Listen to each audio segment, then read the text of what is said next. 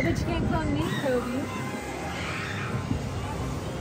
I bet you I can. Challenge is accepted. Not a clone you right. I had to figure out exactly where you were. I saw you lick the caution sign on a Ferris wheel. And from the full video, you tagged me and I saw number three on the Ferris wheel bucket that you went to in. To find out which Ferris wheel you're on, I saw a ride card and it said Pacific Park. I then typed in Pacific Park on Google. And I found the exact Ferris wheel that you lit. And I got the exact location to Pacific Park. I took my clone kit in my hand and drove straight to the Ferris that wheel. That you licked so I could swab your DNA right off of bucket number three. Once I got to Pacific Park, I saw the Ferris wheel that you licked and went straight on to number three. I then took my Q-tip and swabbed your DNA right off the caution sign. That you licked and put it back in my chemical grade tube and went back to my laboratory so I could clone you. Back at my genetics lab, I took your DNA and put it under my $30,000 microscope. This is DNA at 3000x zoom.